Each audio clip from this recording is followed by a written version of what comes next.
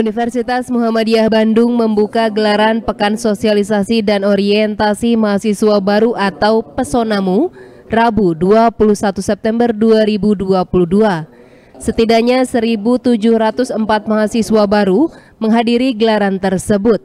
Menurut Rektor Universitas Muhammadiyah Bandung, Profesor Heri Suhardianto, dalam kegiatan tersebut akan disampaikan arahan dan pembinaan agar para mahasiswa baru siap berkarya untuk negeri.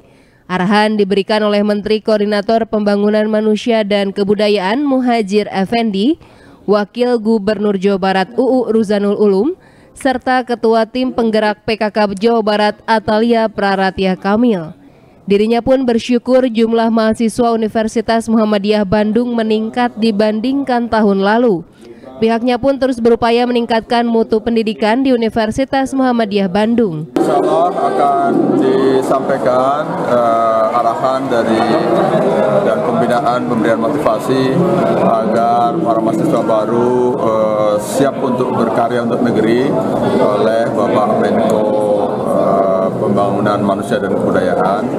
Kemudian insya Allah juga akan ada materi dari Bapak Wakil Gubernur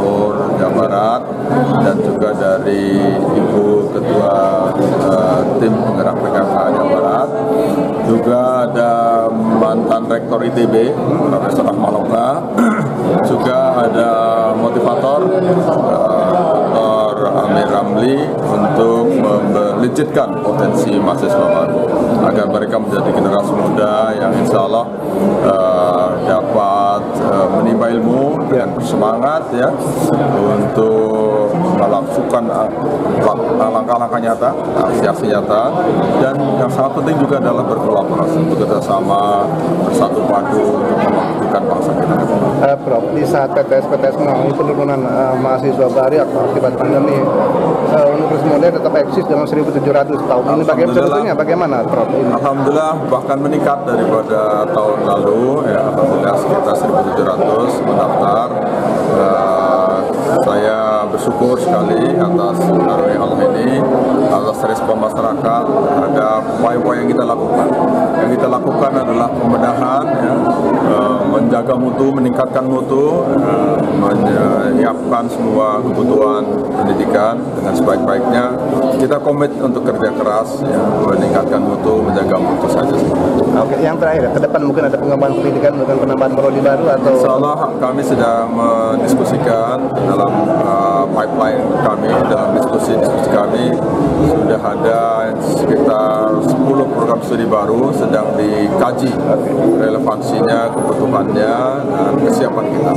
Sementara itu, Kepala LL Dikti Wilayah 4 Muhammad Samsuri mengatakan saat ini angka partisipasi kasar untuk kuliah di perguruan tinggi masih sekitar 34 persen. Potensi ini seharusnya dimanfaatkan oleh perguruan tinggi baik negeri maupun swasta. Karena kapasitas perguruan tinggi negeri terbatas, kehadiran perguruan tinggi swasta pun penting untuk meningkatkan angka partisipasi kasar atau APK.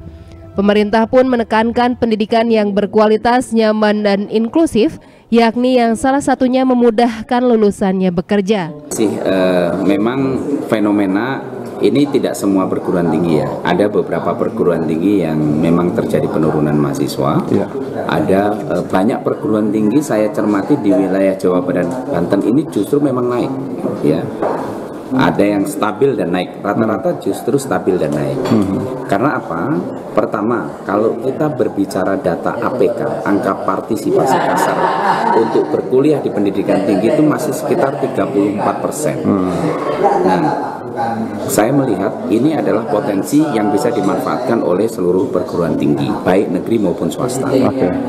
Perguruan tinggi negeri itu juga kapasitasnya terbatas, ya. maka eh, kehadiran masyarakat melalui perguruan tinggi swasta ini penting untuk membantu peningkatan angka partisipasi kasar.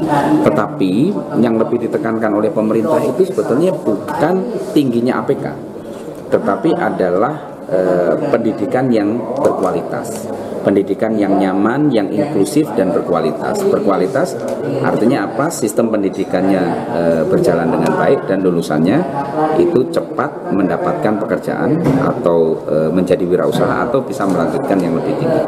Saya melihat perguruan tinggi perguruan tinggi yang mengedepankan kualitas, mengedepankan perlakuan yang uh, optimal terhadap mahasiswanya sehingga menghasilkan lulusan yang berkualitas tadi, lulusan yang uh, memiliki keterampilan, uh, me menguasai ilmu pengetahuan, memiliki talenta global, ya. itu diminati oleh masyarakat. Ya, Pak. Masyarakat sekarang udah pintar. Ya.